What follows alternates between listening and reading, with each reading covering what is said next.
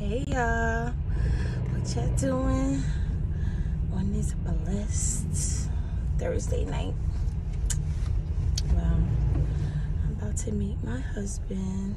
Um, about to meet my husband. Um, guys, keep us in prayer. Pray for us. You know, we don't live together because we're still working on bringing that all together.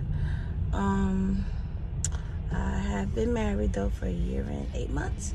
So I'm just trusting God, um, looking for a new home, hoping that everything falls through. And um, I'm just, you know, trusting God and, you know, waiting for him to come through with that. But so anyways, me and him are going to a, a church meeting tonight. I'm excited about that.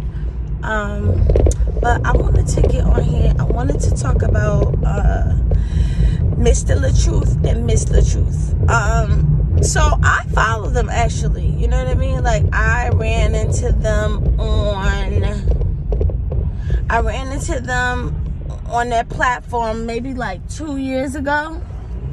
And I, you know, follow their skits and stuff. And, you know, I like them. You know what I mean? I have nothing bad to say. Listen, I'm married and I know marriages go through stuff, ups and downs.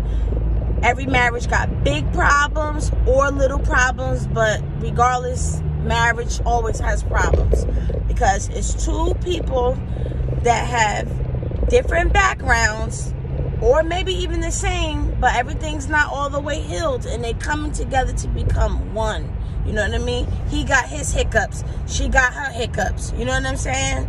You know, me and my husband, we go through stuff. Like, it's, listen, marriage ain't for the weak. And it ain't all fairy tales and candy.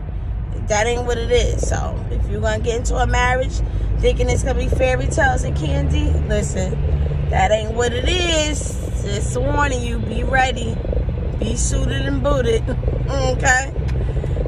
Make sure you got that inner strength from the Lord, because it's gonna be times that you like, who's signing the papers? Who's signing the papers? You or me?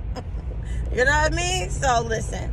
So, anyways, as saints, we should lift them up in prayer, because y'all know the devil don't like marriage. He will do anything to tear that apart. I feel that as saints, we should always be praying for, you know, couples that are, you know, about to head to divorce you know, we should definitely be praying for them. Um, what I do, like I said, I'm not here to bash them, or anything like that. I don't know who's right, who's wrong. They both accusing each other of stuff. I don't know. I'm not in their marriage. But what I can say is, I do have an issue with his responses lately to his fans. Listen, get on the live saying, mind your business. You don't know me and my wife. You know what I mean? Like, you don't know us personally. She don't care about anything that's going on in your lives. If it's not on social media platform, we don't care. Like, we don't know you in real life. Don't judge me. Don't say I should be doing, I should be. Hold on, hold on, hold on, hold on, hold on, hold on, hold up. We got to some humble pie. You know what I'm saying? And we got to watch our tone. And also for her as well because today she was uh, responding. Well she was on the live i think yesterday. Then she got um so then i just was listening to it today. And she was saying like you know to her fans or whoever follows her um i don't care if y'all think i'm lying. Um i know the truth. I know the truth and god knows the truth. I don't care if and in the same token you sit there and said that you've been basically keeping it together for six years, basically putting on a fraud, basically, and covering up for him for six years. To Miss LaTruth and Mr. LaTruth, y'all gotta have some patience for all the people that's going through a rough time with y'all and that's been following y'all. People looked up to y'all. Y'all gotta have some patience. People are surprised. People are hurt. They're confused if you're if you portray your relationship as a certain thing and your marriage is a certain thing then you have a big following and something erupts in that. There's going to be questions. There's going to be comments. There's going to be you know i thought y'all was solid. There's going to be i can't believe she did that or i can't believe he did that.